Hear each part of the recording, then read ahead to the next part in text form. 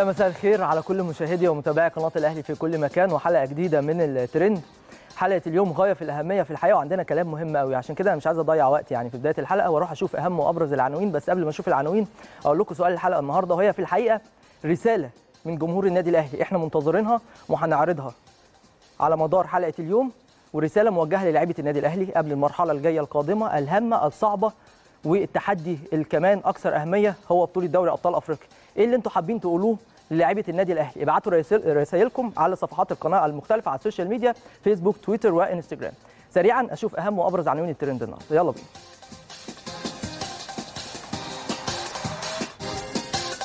في ترند الأهلي الفريق يواصل تدريباته استعدادا للجونة.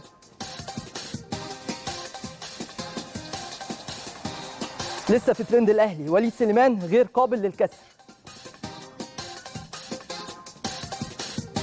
وفي الترند العالمي احتفالات بايرن مستمرة بعد تتويجه بدوري الأبطال.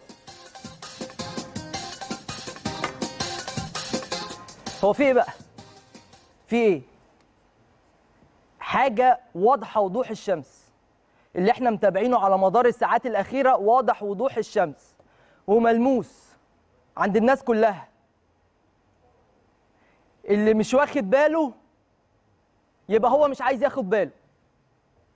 اللي مش ملاحظ يبقى هو مش عايز يلاحظ. إيه بقى مش عايز يلاحظ إيه؟ الحملة والتحامل على النادي الأهلي. حملة واضحة وتحامل على النادي الأهلي. في إيه يا جدعان؟ إحنا إحنا خسرنا ماتش. ده إحنا خسر إحنا لاعبين 20 21 ماتش خسرنا فيهم ماتش واحد. فين المشكلة اللي هنا؟ بص إحنا زعلانين ومتضايقين. كجمهور أهلي.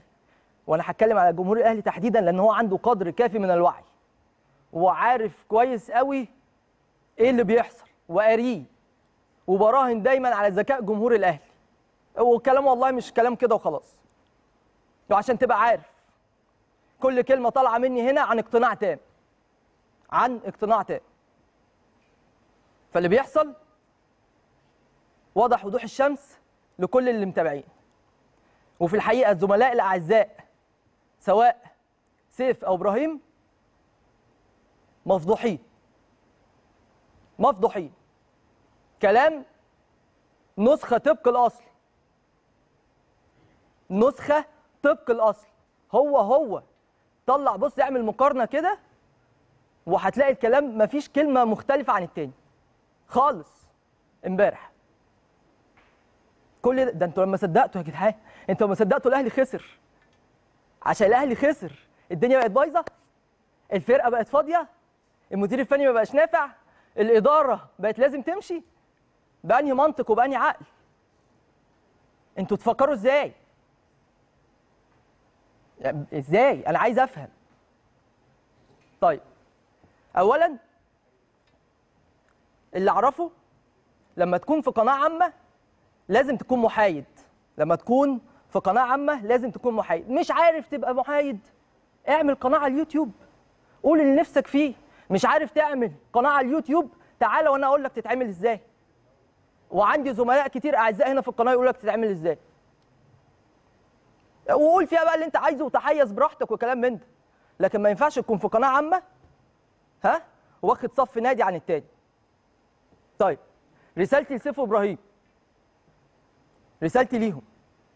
أما أنتوا كده بتتكلموا على الفريق صاحب المركز الأول بفارق 14 نقطة في بطولة الدوري وبتتكلموا عنه بالطريقة دي وشايفين في كل المساوئ دي شايفين إن كل حاجة وحشة وكل حاجة بايظة أمال هتقولوا إيه على الفريق اللي صاحب المركز الثاني آه صحيح أنتوا مش هتقدروا تقولوا. وأنا عارف وحضراتكم اللي بتتفرجوا عليا دلوقتي عارفين ليه هم مش هيقدروا يقولوا. أنتوا عارفين كويس ليه؟ أما الفريق صاحب المركز الأول ها المتأهل لنصف نهائي دوري أبطال أفريقيا بيتقال عليه كده وبيتقطع فيه بالشكل ده. يبقى الفريق صاحب المركز الثاني المفروض تقول عليه إيه؟ مع مع كامل الاحترام لكل الفرق. بس المفروض تقول عليه إيه؟ لكن أنت مش هتقدر تقول. لأنك مقفوش باين قوي واضح قوي سقطت الأقنعة. في الحقيقة في المواقف اللي زي دي يبين لك اتجاهه إيه ده اتجاهه رايح فين واخد أنهي جنب محايد ولا مش محايد. تمام؟ النقطة كمان اللي أنا عايز أتكلم فيها مع حضراتكم ونوضحها. وبص في الأول وفي الآخر إحنا معترفين هنا أهو ماتش الزمالك كان فيه أخطاء. ماتش الزمالك كان فيه تقصير من بعض اللاعبين. ده كلام خلاص إحنا متفقين عليه. بس هل معنى كده؟ إن الأهلي بقى ده خلاص كده الفرقة ضاعت وال وال وال وال والمجلس الإدارة ضاع وكمان الجهاز الفني والإداري وكل الكلام من ده الدنيا باظت خالص. هل ده يساوي ده؟ هزيمة ماتش تساوي كل اللي بيحصل ده؟ ده إحنا ده إحنا واضح إن إحنا كنا قاعدين إيه؟ لا الأهلي هيخسر الماتش ده. طب لا لما يخسر الماتش ده يلا لا ما خسرش يا طب خلاص الماتش ده خسر. قطع بقى في الأهلي. خلص على الأهلي. انهي عليه قبل قبل نص نهائي أفريقيا. بأني منطق وبأني عقل. لما تيجي تكلمني وأنا مشاهد راعي إن أنا عندي قدر كافي من الذكاء. راعي راعي إن أنا عندي عقل أفكر بيه. لكن ما تستغبنيش ما تشتغلش معايا بالأسلوب ده. مش هتجروا الاهلي للمنطقة دي. لازم هنرد. لازم هنوضح الحقائق. النقطة كمان المهمة. وسيف مثلا نتكلم على إيه؟ على الجانب الإداري. المشكلة في المكتب. المشكلة فين؟ في المكتب. طيب. حضرتك لما كنت في المكتب في اتحاد الكورة مشيت ليه؟ قول لي السبب. مشيت ليه؟ ما انت كنت في المكتب اهو. كنت عارف تدير ولا مش عارف تدير؟ عرفت تدير ولا لا؟ ما عرفتش طبعا. عشان كده مشيت. عشان كده مشوك. طيب. اللي في ايده اللي إيده في المية مش زي اللي في ايده اللي إيده في النار. تمام؟ فأنت واجه واخد توجه واضح جدا سواء أنت أو هو. واخدين توجه واضح جدا جدا. مش بص باين للناس كلها. وبعدين النقطة كمان المهمة واللي, حابب أتكلم فيها وهي موضوع إن الأهلي بيخسر صفقاته. وصورة بتحاولوا تصدروها للناس إن الأهلي بيخسر صفقاته. هاتوا لي يا جماعة كده إحنا مع بعض اهو. ها؟ ابعتوا لي على صفحات القناة أنا ما عنديش مشكلة. وأرد عليكم. الأهلي خسر صفقات إيه؟ قول لي الصفقة اللي دخلها النادي الأهلي خسرها. طيب أنت بتقول رمضان صبحي؟ ماشي. رمضان صبحي؟ الأهلي اتفق معاه وخلص كل حاجة. هدرسفيلد الأهلي خد منه مكاتبة رسمية بالموافقة على المبلغ اللي تم الاتفاق عليه مع إدارة هدرسفيلد واللعيب بتاعك خلاص خد منه امضته واعلن رسميا إن هو بتاعك. والموافقة موجودة في النادي الأهلي. لاعب غير رأيه هو حر له مطلق الحرية لأن هو مش على قوتي كنادي. كده أنا بقى خسرت صفقة وأنا اشتغلت عليها صح ونجحت. ونجحت مع هدرسفيلد في الحصول على الموافقة بخصوص رمضان. أدي رمضان. هتقول لي شريف؟ شريف ده واحد أعلن رغبته من شهر يناير اللي فات إن هو ماشي. الأهلي ما يمسكش في حد عايز يمشي. أنتوا عارفين كده. الأهلي ما يمسكش في حد عايز يمشي. كده يبقى الأهلي غلطان في موضوع شريف؟ مين تاني؟ مين؟ قال لك مين؟ عبد الله السعيد. إحنا هنفضل بقى كام سنة في موضوع عبد الله السعيد؟ هو عبد الله السعيد مشي من الأهلي إمتى؟ من ثلاث سنين فاتوا 2017 إحنا داخلين على 2021 بقى إحنا يا سيدي في 2021 دلوقتي. يعني من ثلاث سنين فاتوا. عبد الله هنفضل كل سنة في عبد الله السعيد مشي؟ مشيته عبد الله السعيد عبد الله السعيد مشي؟ لا عيب كبير قوي. ما أقدرش أقول غير كده. طبعا. لو قلت غير كده ما بفهمش في الكوره لا عيب تقيل وجامد جدا. لكن الأهلي ما بيزعلش على عيب مشي من عنده. وبعدين لما مشي عبد الله إحنا بناخد الدوري في ثلاث سنين. لما مشي عبد الله إحنا وصلنا نهائي أفريقيا وخسرنا بفعل فاعل من غير عبد الله لما مشي عبد الله خدنا السوبر المصري. لما مشي عبد الله إحنا مكملين في مسيرتنا. لما اعتزل الخطيب إحنا مكملين في مسيرتنا. الأهلي مكمل. أي حد بيمشي الأهلي مكمل. لما مشي أبو تريكة الأهلي مكمل وبياخد بطولات. لكن واضح بتحاولوا ترضوا مين؟ واضح. واضح الاتجاه رايح لفين. فبصراحة الموضوع بقى يعني باين للناس جدا جدا يعني.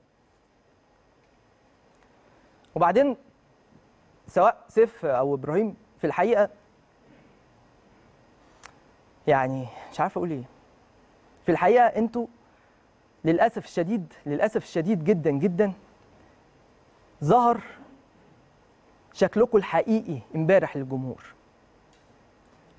الأهلي فوق الجميع. وهي مش مجرد كلام بيتقال وخلاص. ها؟ لما أنت كإعلامي ما شاء الله عليك سواء أنت أو هو مميزين. تمام؟ وتطلع تقول كلام غير منطقي الناس هتقول عليك إيه؟ هتقول لي ما أنت في قناة الأهلي لازم تقول كده. وأنت بتطبل. طيب أنا يا جماعة أنا ماليش علاقة بالتطبيل أقسم بالله ما ليا علاقة بالكلام ده ولا بطبل ولا حاجة وما بقولش أي حاجة غير لما أكون مقتنع بيها. تمام؟ بالمناسبة أنا موجود في قناة الأهلي بقالي سنين كتيرة جدا. اشتغلت مع مجلس حسن حمدي مع مجلس آه، محمود طاهر مع مجلس محمود الخطيب مع كامل الاحترام والإحتفاظ بالألقاب. يعني أنا ما أنا بشتغل موجود في النادي الأهلي. همي اسم النادي الأهلي. بصراحة من الآخر يعني عشان بقى تقفل الحتة دي. لكن في كل الأحوال أنت اللي اتفضحت. تمام؟ أنت بتتكلم على الجانب الإداري يا كابتن سيف؟ أنت معروف الشلة بتاعتك. اللي بتنزل انتخابات مجلس الشعب اللي بتنزل انتخابات مجالس إدارات أندية ها؟ وانتخابات اتحاد الكورة. شلة كده مع بعض. ومش هتكلم أكتر من كده. لأن في ناس كبيرة. ولازم يكون ليهم كل الاحترام والتقدير. لكن لما هنلاقي إن الناس خلاص لما صدقت الأهلي خسر ماتش عشان تخلص عليه لا مش هيحصل. الأهلي مش هيتخلص عليه. وبعدين إبراهيم قال لك إيه؟ قال لك الفرقة فاضية. إزاي؟ إزاي الفرقة فاضية؟ والنبي اقنعني. يعني ما هو يا تقنعني يا أقنعك. الفرقة الفاضية دي ها اللي فضيت دي هي هي الفرقة اللي كسبت سان داونز وصعدت لنص النهائي. هي هي الفرقة اللي دلوقتي محتلة المركز الأول في بطولة الدوري بفارق كبير من النقاط. نفس العناصر. أقول لك تشكيلات الأهلي في ماتش سان داونز ماتشين سان داونز الأهلي لعب بالشناوي في الماتش الأولاني كسبنا فيه 2-0 في القاهرة. الشناوي أحمد فتحي محمود متولي ياسر إبراهيم علي معلول دول موجودين ولا مش موجودين؟ موجودين. السوليه السولية ديانج موجودين ولا مش موجودين؟ ها؟ ها؟ موجودين. ماشي. الشحات وقفشة وأجاييه. ومروان موجودين ولا مش موجودين؟ موجودين. صح ولا أنا غلط؟ تعالى في تشكيل المباراه اللي هي بتاعت واحد واحد. الشناوي معلول ربيعه ياسر فتحي. موجودين ولا مش موجودين؟ موجودين. عمرو السولية ديانج متولي جيرالدو بادجي أجاييه. حد فيهم مشي من الأهلي؟ رد. قول لي. اقنعني. ما حدش فيهم مشي من الأهلي. هتقول لي طب ما هو رمضان مشي. هو رمضان لعب الماتشات دي؟ إمكانيات عظيمة رمضان. تمام؟ إمكانيات عظيمة. بس إحنا معظم الماتشات بنلعب من غير رمضان. وكل الماتشات اللي لعبناها من غير رمضان إحنا كنا بنكسب. أهمهم كان ماتشين صن داونز. كسبنا وصعدنا. اذا إيه؟ اذا الأهلي ما يتأثرش بغياب أي حد. اذا إيه؟ اذا الفرقة مش فاضية. هتحاولوا تهزوا من ثقة اللعيبة مش هيحصل. هتحاولوا تهزوا من ثقة الجهاز الفني اللي كن... اللي أنتوا كنتوا بتقولوا فايلر ده حاجة عظيمة. فايلر ده أجمد مدير فني. إزاي إدارة الأهلي قدرت تت- تتعاقد معاه؟ شابوه لإدارة الأهلي. دلوقتي بقت إدارة الأهلي وحشة. دلوقتي بقى فايلر وحش عشان ماتش ما كناش موفقين فيه وعندنا أخطاء فيه عشان ماتش. الدنيا تت- تتقلب كده تماما. إزاي؟ يا أخي حتى وأنت بتتكلم قول كلام منطقي عشان حتى تصدق نفسك. شكلك أنت قدام نفسك إيه؟ أنتوا واخدين اتجاه واضح. ده سكريبت واحد متوزع مش معقول. سكريبت واحد. بس الأهلي في ظهره قناته. قبل قناته الأهلي في ظهره جماهيره اللي واعية جدا واللي عارفة كويس قوي كل واحد قصده إيه وكل واحد أهدافه إيه. واضحة وضوح الشمس. وهو ده عنوان الفقرة. هي عنوان كان ترند. إحنا النهارده بنتكلم فقرة بعنوان وضوح الشمس. الموضوع واضح. فحاجة بصراحة غريبة. حاجة غريبة. وأنا دايما دايما وتابعت في الحقيقة جمهور الأهلي على السوشيال ميديا على مدار الساعات اللي فاتت. لا في قدر كبير من الوعي. عارفين قوي اللي بيتعامل مع النادي الأهلي دلوقتي. عارفين قوي اللي بيحصل. موضوع, موضوع ليه أبعاد كبيرة. ليه أبعاد كبيرة. وخلي بالك برضو إحنا ما بنطلعش مبررات إحنا بنكشف حقائق. لازم الحقائق تتكشف. لازم الناس تاخد بالها عشان اللي مش واخد باله ياخد باله. واعتقد مفيش دليل اكبر من دليل امبارح. قناة عامة من المفترض ان هي تبقى محايدة قناتين هما بنفس السكريبت بنفس الكلام بنفس المدة اللي اتكلموا فيها. فحاجة غريبة بصراحة. لكن أنا اللي أقدر أقوله إيه في النهاية؟ اللي أقدر أقوله إيه؟ شابوه سيف زاهر. شابوه إبراهيم فايق. ده اللي نقدر نقوله. النقطة كمان اللي, اللي لازم نتكلم فيها وهو التكسير في بعض اللاعبين. وهتكلم على وليد سليمان تحديدا. وليد سليمان الناس ماسكة في اللاعب إن هو متعمد ايذاء عبد الشافي وإن هو راح اعتذر لعبد الشافي. وكلام بصراحة يعني إيه ملوش أي لازمة. وكلام ناس عايزة يفضل في فتنة ما بين الجمهور. معنى دلوقتي إن كرة مشتركة. عبد الشافي من اللاعبين اللي بصراحة أنا بحبهم جدا. أنا بحبه قوي لعيب في الزمالك وفي كذا لعيب في الزمالك أنا بحبهم عادي أنا بحبهم. بس عبد الشافي ده أخلاق عالية قوي حاجة جميلة حاجة جميلة. وليد راح له يزوره. كرة مشتركة الاثنين اتخبطوا الاثنين إصابات بتاع فراح يشوفه يعني يطمن عليه. هل هو رايح يقول له أنا آسف ما تزعلش مني؟ لا ده هو رايح يطمن عليه. لأن وليد أصلا ما غلطش لأن هي كرة مشتركة وهي دي كرة القدم. أنت لما هتقول غير كده يبقى أنت ما بتفهمش كورة والله. أنت كده ما بتفهمش كورة. كرة في الهواء اتنين مش... اشتركوا مع بعض دي هي دي الكورة. طيب ما هو وليد نفسه وهو وليد في الحقيقة لو ينفع تعرضوا لي الكلام اللي هو كتبه على على الصفحة بتاعته. وليد نفسه طلع قال لك شر- شرح لك القصة كلها. قال لك المعاني الإنسانية والحملات اللا أخلاقية. وعنده حق زي ما أنتم شايفين كده على الشاشة.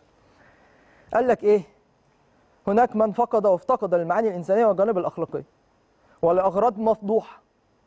تعمد البعض تفسير زيارتي لزميلي في الملاعب وصديقي الذي اعتز به كثيرا محمد عبد الشافي نجم دفاع الزمالك في المستشفى. على انه نوع من الاعتذار مني. بل وذهبوا وفقا لحملات ممنهجة ضدي منذ فترة إلى أن هذا الاعتذار غير غير مقبول. هو الراجل بيقول لك أنا أصلا ما رحتش اعتذرت. أنا رايح بطمن على زميلي في الملاعب اللي بنتمنى له يا رب الشفاء العاجل يا رب. الحقيقة ده كلام وليد بقى. إني ما رحتش لزميلي لتقديم واجب الاعتذار فأنا لم أخطئ. وده بشهادته هو شخصيا اللي هو عبد الشافي. ويعني الكلام مستمر. واتكلم أنا بفكركم إني كنت شخصيا ضحيه ضحية الاصابات كتير. أبرزها إيه؟ في مباراة القمة موضوع شوقي السعيد والتدخل اللي حصل فيه قمة نهائي كأس مصر. وبعديها طلع اللاعب شوقي السعيد مع إبراهيم واخد بالك؟ قال لك إيه؟ قال لك أنا قاصد. وقال لك في إصابة كمان في 2016 بكسر مضاعف في الضلوع. خلال مباراة القمة في كأس السوبر بالإمارات 2016 كان تدخل عنيف من محمد كوفي. هل حد طلع ساعتها يا جماعة؟ أهي اللقطات يا سلام. أهي اللقطة. بص بقى التدخل ده. إيه ده؟ إيه يا راجل ده؟ ليه ما ساعتنا ساعتها ليه ما رحناش اشتكينا للفيفا ساعتها ليه وليد سليمان ما طلعش قال لك أصل دول قاصدين يأذوني؟ ها؟ أنتوا أنتوا في بصوا يا جماعة أنتوا في كل الأحوال بتحاولوا تستغلوا النادي الأهلي بيتعامل بمبادئ وباحترام.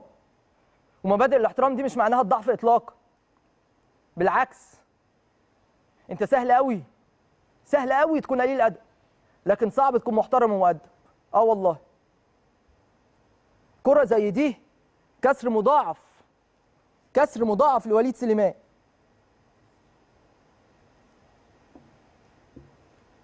محدش طلع اتكلم ليه ساعتها؟ تمام؟ ده أنا في. بص ده في حتة كمان هقولها لكم مهمة قوي. عايز اتكلم فيها برضه. تعالى لي يا بيبو بعد إذنك. من الآخر كده. عشان أقفل الملف ده. إحنا اتكلمنا على موضوع وليد واتكلمنا على سيف وابراهيم وعشان أختم موضوع سيف وابراهيم مش معنى مش معنى. وهي, وهي, يعني رسالة ليهم هم. أنا بقول لهم هم. مش معنى إن أنا لما أطلب من النادي إن أنا عايز مداخلات مع مسؤولين وعايز مداخلات مع لاعبين وكلام من ده والنادي يرفض عشان سياسته وعشان عايز اللعيبة تبقى مركزة والناس تبقى مركزة في في التحديات اللي قدامك مش عشان الأهلي رفض؟ ها؟ وأنا بجيبها لك على بلاطة من الآخر أهو. مش علشان الأهلي رفض يبقى الأهلي ده بقى وحش. مش عشان الأهلي رفض يبقى الأهلي ده ما بقاش عنده مجلس إدارة. مش عشان الأهلي رفض يبقى الأهلي ده ما بقاش عنده مدير فني وبقى فرقة فاضية. مش عارف والله مصدقين نفسهم إزاي. بصراحة مع كامل الاحترام والتقدير لشخصهم يا جماعة وأنا عمري ما أتجاوز في حق حد دي مش أخلاقي أنا مش بتجاوز. بس أنا بقول حقائق للناس لازم تعرفها. وأنت كمشاهد لك مطلق الحرية لك مطلق مطلق الحرية إنك تفكر وتقرر. تفكر وتشوف مين الصح ومين الغلط.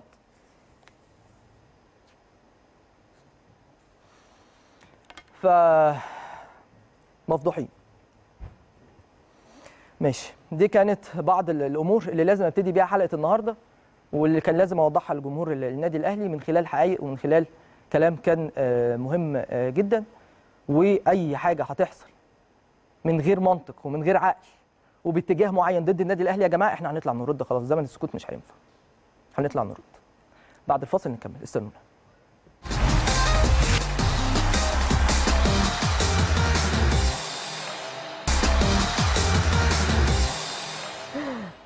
طيب بصراحة أنا والله هتجنن يعني أنا بصراحة هتجنن لأن في الحقيقة لو مجلس إدارة الأهلي مثلا تخيل كده معايا خد قرار قال لك مشي فايلر دلوقتي وسرح الفرقة دي تمام؟ ومشي بقى مدير الكورة وغير بقى خالص دلوقتي غير كله لا أنت وحش أنت ما عندكش حق أنت ما فيش فرقة فرقة فاضية مشي كل ده.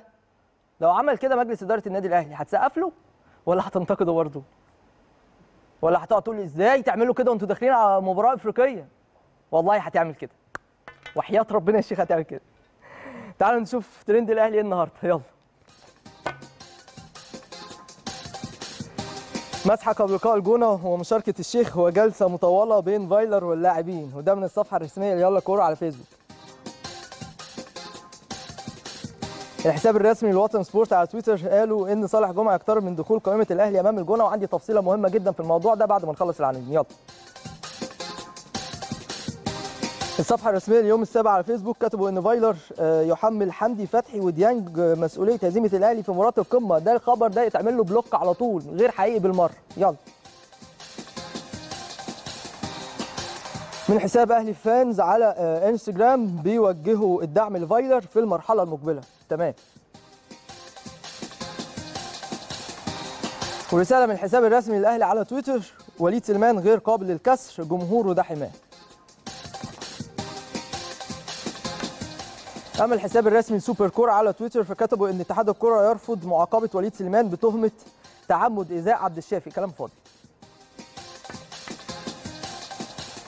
الحساب الرسمي لسبورت 360 على تويتر نشروا إن محامي كريم نيدفيد قال إن إصابته لم تتجدد وحالته مطمئنة جدا ويسير بشكل ممتاز في برنامجه التأهيلي وده حقيقي وإن شاء الله يرجع قريب.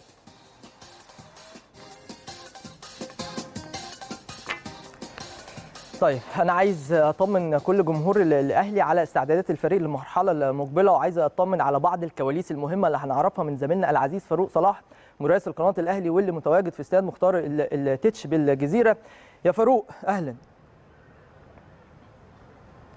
كل التحية ليك يا أمير وكل التحية لكل مشاهدينا مشاهدي ومتابعي شاشة قناة النادي الأهلي في كل مكان.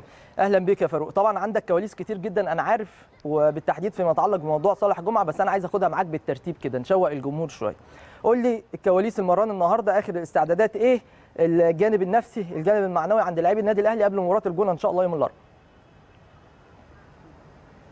خلينا يا أمير قبل ما نروح للتمرين والكواليس والإعداد النفسي خلينا يعني نتكلم بوضوح يا أمير مم. آه، الحملة الممنهجة اللي على اللاعبين وعلى الجهاز الفني وعلى مجلس الإدارة آه، اعتقد يعني مش هتفيد ولا هتزيد مع النادي إيه؟ الاهلي أنت من حقك ان انت تنقد انت وتقول خدت بالك صح ده أكيد ما فيش حد أنا عايز أقول لك يا. أمير إن ما الناس فيش كلها حد من. الجهاز الفني من اللاعبين من الجميع واخد باله من هذا الأمر آه. آه وعايز أوصل رسالة من خلالك يا أمير النهارده إحنا متواجدين مع اللاعبين للأسف للأسف الحملة اللي أنتوا عملتوها بالعكس زادت لاعبي النادي الأهلي صلابة حلو قوي. زادت لاعبي النادي الأهلي التحام والتماسك بهذا الأمر فأنا من خلالك يا أمير أنا بشكركم وبقول لهم شكرا متشكرين بجد والله إن أنتوا وصلتونا لمرحلة الدعم وإن اللعيبة حست بقيمة هذا الأمر والجلسة اللي كانت بالأمس أمير من الكابتن محمود الخطيب رئيس مجلس الإدارة ولجنة التخطيط الكابتن محسن صالح وكابتن زكريا ناصف يعني لما نروح لها هنتكلم كان ليها أثر بالغ وشديد على لاعبي النادي الأهلي.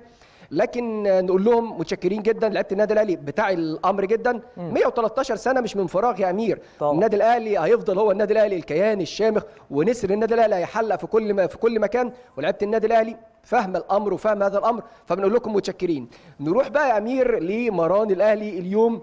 سريعا طوى النادي الأهلي صفحة مباراة ال- القمة. آه عندنا ايجابيات وعندنا سلبيات وزي ما بنعترف بالايجابيات دايما علشان 113 سنة من من النجاح ومن العطاء بنقف قدام السلبيات بنعرف سلبياتنا صح. إيه وبنعالجها وده الأمر اللي كان مهم جدا إن مستر ريني فايلر النهارده في البداية في بداية ال- ال- المران آه، وقف مع اللاعبين. قبل ما يتكلم على الايجابيات اتكلم مع السلبيات. وعلى فكرة أمير اتكلم النهارده مع اللاعبين. اللاعب لاعب ووقف مع بعض اللاعبين وهنقولهم بالاسم. لكن خلينا نقول ال- ال- المران بدأ في تمام الساعة 9 والنصف. المس- المسحة الطبية اللي دايما آه، طبقا لبروتوكول وزارة الشباب والرياضة ووزارة الصحة. مس- مسحة طبية قبل المباراة ب 48 ساعة ثم انطلق مران الفريق. مستر ريني فايلر كان ليه جلسات مع محمد هاني النهارده عقب المران ويعني نقدر نقول جلسة آه، امتدت لأكثر من نصف ساعة مع محمد هاني بحضور المترجم مترجم دكتور عمرو عمرو محب. أيضا كان في جلسة ما بين الكابتن سيد عبد الحفيظ ومروان آه، محسن. مستر ريني فايلر وقف مع اللاعبين. ديفيد سيزا كان ليه جلسة أيضا مع محمود آه، كهربا. نقدر. نقول لعيبة النادي الأهلي شايفة الحملة الممنهجه اللي موجودة اللعيبة كلها مركزة. خلاص طوينا صفحة لقاء الزمالك. بنركز في الجولة ومباراة الجولة. رقم 22 للدوري أمام فريق الجونة. النهارده مران أكثر من رائع للاعبي النادي الأهلي. تألق يعني على يعني بيستمر في تألقه. بادجي اللي نقدر بإذن الله يكون واحد من المهاجمين المؤثرين. جدا جدا في هجوم النادي الأهلي. طيب. آه، فاروق كلمني على كواليس اجتماع الكابتن محمود الخطيب بالأمس مع الجهاز الفني واللاعبين. إيه اللي حصل بالظبط؟ بالظبط يا أمير كان في الجلسة ما بين الكابتن محمود الخطيب الأول مع الجهاز الفني والكابتن سيد عبد الحفيظ. اتفتح فيها أمرين مهمين جدا يا أمير. اتفتح فيها ملف اللاعبين المعارين مين من اللاعبين اللي خلاص يرجع للنادي الأهلي ومين اللي هيتم ال- الاستغناء عنه. آه نشوف احتياجاتنا إيه إيه المراكز اللي إحنا هنحتاج فيها دعم خلال الفترة القادمة. هبدأ أحدد من اللعيبة المعارين اللعيبة اللي أنا هحتاجها خلال الفترة القادمة. المراكز اللي بيعاني منها الأهلي من من نقص هل هتحتاج تدعيم ولا أبدأ أشوف الأول ملف المعارين؟ ودي النقطة المهمة. الشق الثاني كان الشق من خلال الكابتن خالد بيبو رئيس قطاع الناشئين والتواصل معاه للبحث عن المراكز اللي بيحتاجها النادي الأهلي في قطاع الناشئين. إن الكابتن خالد بيبو يرشح مجموعة من اللاعبين في بعض المراكز اللي النادي الأهلي بيعاني منها من نقص في ظل الغيابات والإصابات وبإذن الله يكونوا موجودين مجموعة من اللاعبين مع الفريق الأول للنادي الأهلي أيضا الكابتن محمود الخطيب ولجنة التخطيط الكابتن محسن صالح والكابتن زكريا ناصر اتكلمت مع الجهاز الفني واتكلمت مع مع اللاعبين على ضرورة آه، مصالحة جماهير النادي الأهلي. والبداية طبعاً. هتكون من خلال لقاء الجونة الجميع بيعي وبي- وعارف قيمة هذه المرحلة وأهمية هذا الأمر ودايما يا أمير بنقول إن السند والظهر للنادي الأهلي ومجلس إدارته ولاعبيه وجهازه الفني هو جمهور النادي الأهلي اللي عمرنا في يوم من الأيام يا أمير ما راهنا عليه وخسرنا طبعا الرهان طبعا طبعا. طيب فيما يتعلق بقى بصالح جمعة يا آه، فاروق الأمور آه، ماشية إزاي؟ وسمعنا كلام إن الراجل خلاص شارك في التدريبات بشكل كامل متكامل وإنه أصبح جاهز للمشاركة في المباريات. بل كمان إن في اهتمام بيه من قبل مستر ريني فايلر واحتمالية لتواجده في قائمة الفريق في المباراه المقبلة. قول لي التفاصيل والكواليس اللي عندك في الجزئية دي تحديدا. بالظبط يا أمير مش هزيد على الكلام اللي أنت قلته. اهتمام وصالح جمعة خلاص بيدخل حسابات مستر ريني فايلر تمام. في المباراة القادمة. بإذن الله هيكون موجود صالح جمعة. وأعتقد إن في أمور وفي جلسات تمت مع صالح جمعة. نتمنى إن صالح جمعة إن شاء الله واحد من اللعيبة المؤثرين والفرصة جت لصالح جمعة. وزي ما بتيجي لأي لعيب في النادي الأهلي إن شاء الله صالح جمعة هيكون على قدر المسؤولية قدر آمال وطموحات جماهير النادي الأهلي اللي دايما بتراهن على صالح جمعة. كان في اهتمام من كل أفراد الجهاز الفني سواء من مستر فايلر من توماس من ديفيد سيزا بمتابعة حالة صالح جمعة. شايفه النهارده بيتألق في المران بالأمس كان موجود في المران الجماعي والنهاردة بيشارك في المران الجماعي. أيضا كان في متابعة مع طبيب التغذية لمتابعة وزن صالح جمعة اللي بدأ في يعني نقدر نقول وزن صالح جمعة في فورمة إن شاء الله مناسبة إن شاء الله إن هو يكون موجود مع عناصر النادي الأهلي خلال الفترة القادمة. وأنا بقول لك يا أمير بالتأكيد صالح جمعة ضمن حسابات فايلر للمرحلة القادمة بدءا من لقاء الجونة. ده خبر مهم وسعيد لكل جمهور النادي الأهلي لما يمثله صالح جمعة من إضافة كبيرة لصفوف الفريق وطبعا كله بيكون طبقا للرؤية الفنية الخاصة بالمدير الفني. لكن أخيرا يا فاروق عايز أتكلم معاك بخصوص الإصابات. آه، آخر التطورات وكواليس ال- الإصابات ومين إن شاء الله قرب يرجع والإصابات الطويلة أخبارها إيه كمان؟ نقدر يا أمير ان نتكلم على محمد محمود خلال. أوه. أيام محمد محمود هيقترب من الدخول للمران الجماعي. يعني ال- ال- الكلام والحديث مع الدكتور خالد محمود إن طمنا على حالة محمد محمود ومحمد محمود واحد من اللعيبه المؤثرة في النادي الأهلي. إن شاء الله ويكون إضافة كبيرة للنادي الأهلي. خلال أيام هيشارك في التدريبات الجماعية. بطمنك بطمن جماهير النادي الأهلي. أيضا حسين الشحات خلال يومين ثلاثة هيبدأ البرنامج التأهيلي ويكون جاهز. يعني إن شاء الله حسين الشحات يكون جاهز أيضا لمباراة إن شاء الله الوداد ومباراتي الوداد في الدور نصف النهائي لدوري أبطال إفريقيا. النادي الأهلي هيبدأ يستعيد ببعض اللاعبين المهمين جدا. محمود كهربا برضو بطمنك هينتهي الإيقاف بتاع الخاص بكهربا.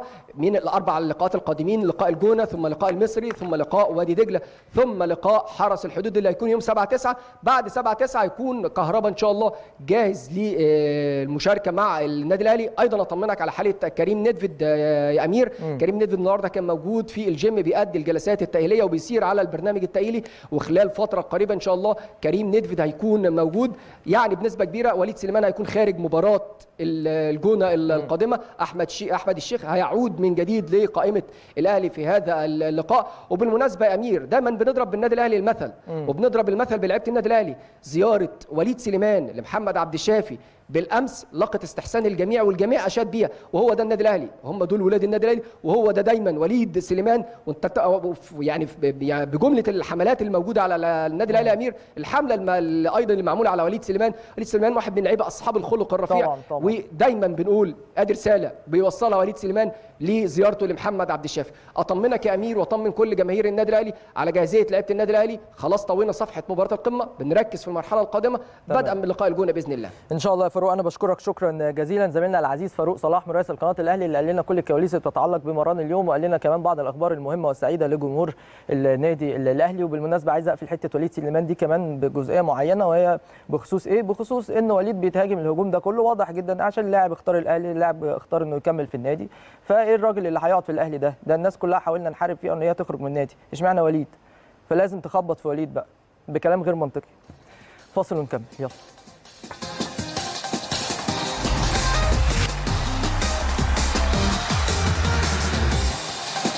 أهلا بحضراتكم من جديد. خلينا نتكلم شوية عالميا لأن في الحقيقة كان حدث مهم جدا امبارح ونهائي دوري أبطال أوروبا ما بين باريس سان جيرمان وبايرن ميونخ واللي انتهى بفوز بايرن بنتيجة 1-0 في الدقيقة 59 من عمر اللقاء.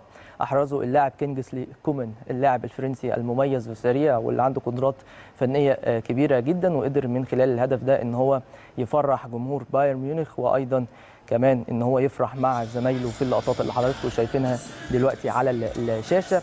وكانت حاجة في الحقيقة أو كانت مباراة كبيرة جدا جدا. باريس سان جيرمان برضو عملوا مباراة آه، مميزة لكن ما كانش فيه توفيق شوية.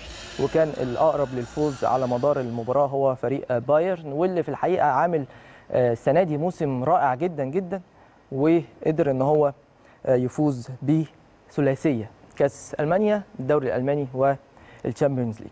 خلينا نروح نشوف الترند العالمي النهارده. يلا. نبتدي بالترند العالمي بأبطال أوروبا وده اللي اتكتب على صفحة بايرن ميونخ على فيسبوك. نشر حساب بايرن ميونخ على تويتر آه، صورة آه، للحظة تسجيل كومان هدف المباراة ووصفها إنها لحظة أو لحظة خلود. صفحة بايرن ميونخ كمان على فيسبوك نشرت فيديو لاحتفالات الفريق بعد التتويج بدوري الأبطال. لا يمكن الوصول لشباك بايرن في وجود العملاق نوير ده اللي قاله الصفحة الرسمية اللي في الجول على آه، تألق مانويل نوير في مباراة امبارح. حساب باريس سان جيرمان على تويتر آه، علق آه، على خسارة فريقه ببطولة دوري أبطال أوروبا قائلا انتهى الأمر هذه النسخة ملك بايرن ميونخ في مقابل جماهير مارسيليا تحتفل آه، بعد هزيمة آه، باريس سان جيرمان لأنهم الفريق الوحيد اللي كسب دوري الأبطال في فرنسا حتى الآن وده اللي نشروا آه، حساب في الجول على تويتر وهم في الحقيقة حققوا البطولة هو الفريق الفرنسي الوحيد اللي حقق بطولة في 93 نيمار تقريبا الهزيمة كانت مأثرة عليه ووجه من خلال حسابه على تويتر التهنئة لفريق باير ليفركوزن بدلا من بايرن ميونخ وحساب ليفركوزن رد عليه قال لماذا تهنئني؟ إحنا بنلعب PlayStation ماشي. حساب في الجول على تويتر نشر صورة آه، أو صور للظهور الأول لبيرلو في تدريبات يوفنتوس بعد توليه القيادة الفنية للفريق.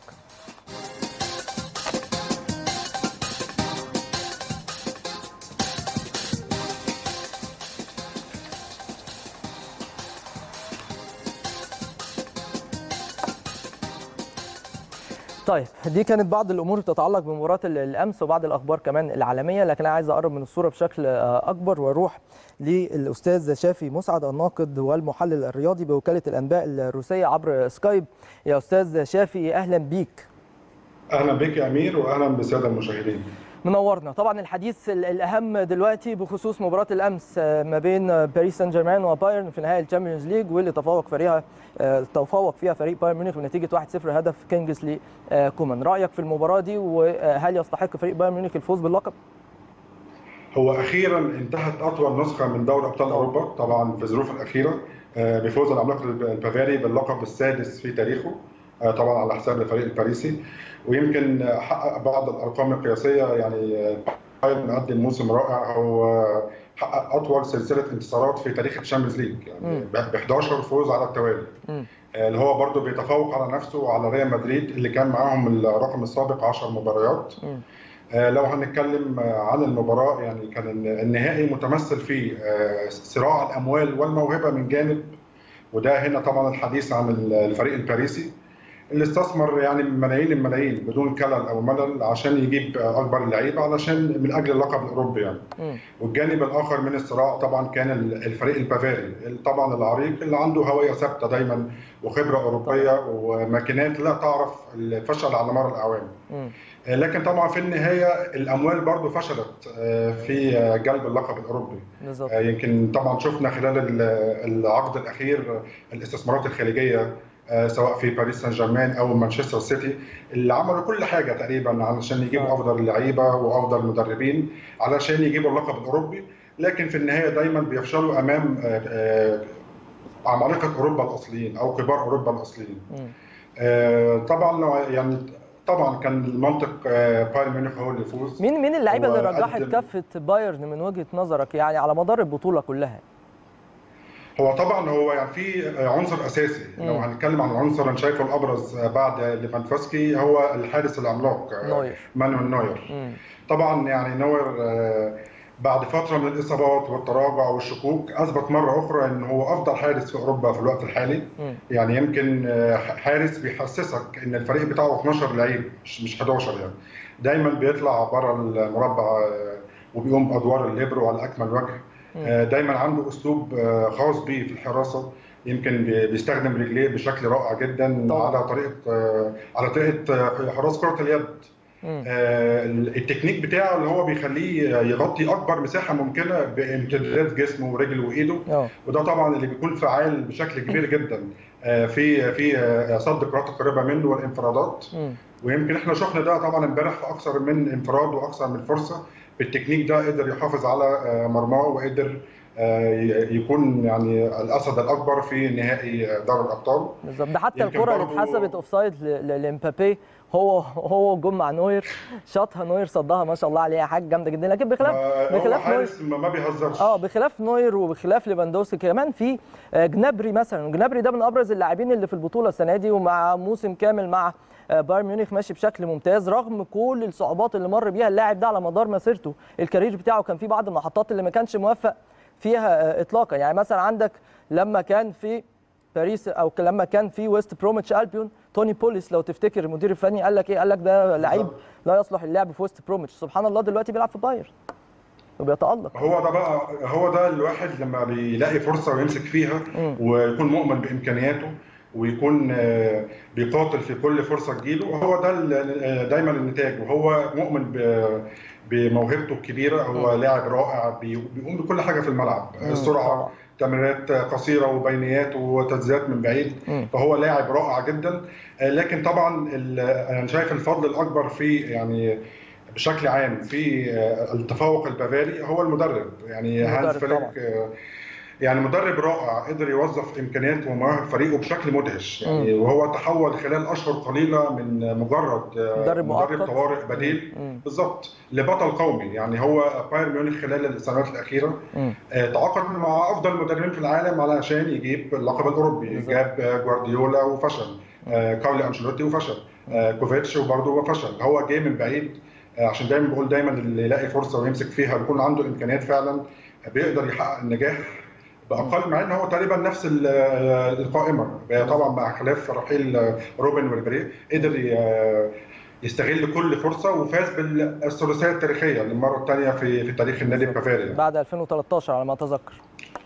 بالظبط. هو كمان هو قدر يعادل رقم برشلونة في في الثنائية اللي معاه برضه الثلاثية مرتين. ولو برضه هنتكلم عن خارج أوروبا هو الأهلي هو الأهلي المصري طبعا بالظبط. حقق الإنجاز إن شاء الله يكون فال خير يا 2006 و2007 بإذن الله. إن شاء الله إن شاء, إن شاء الله. أنا بشكرك شكرا جزيلا الاستاذ شافي مسعد الناقد والمحلل الرياضي بوكالة الأنباء ال- الروسية. وكان معانا عبر سكايب واتكلمنا معاه في بعض الأمور العالمية تحديدا فيما يتعلق بمباراة الأمس في نهائي دوري أبطال أوروبا ما بين بايرن وباريس واللي انتهت بفوز بايرن بنتيجه 1-0 وتوج للمرة السادسة في تاريخه ببطولة ال Champions League الأوروبي. طيب هنروح لفاصل سريع وبعد الفاصل نرجع نكمل يلا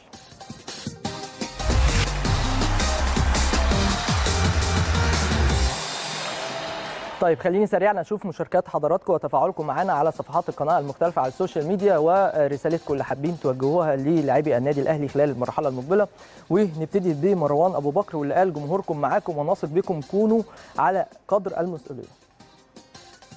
معاذ حمدي الأزهري قال كونوا رجال في القادم ونحن معكم دائما وابدا. الأهلي نادي القرن. محمد إبراهيم قال جمهور الأهلي وراكم وبيدعمكم لآخر لحظة برغم الهجمة الإعلامية الشرسة عليكم والتشكيك في قدراتكم مؤمنين بيكم وبقدراتكم على حسم إفريقيا إن شاء الله تعالى.